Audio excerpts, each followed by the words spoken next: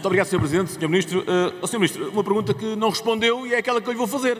Quanto é que custa o passe, o verde aos contribuintes portugueses? Que era isso que devia ter dito, ainda não respondeu. Falou, falou, falou e ao fim e ao cabo acabou por não dizer nada, como o PSD tem a mania de fazer.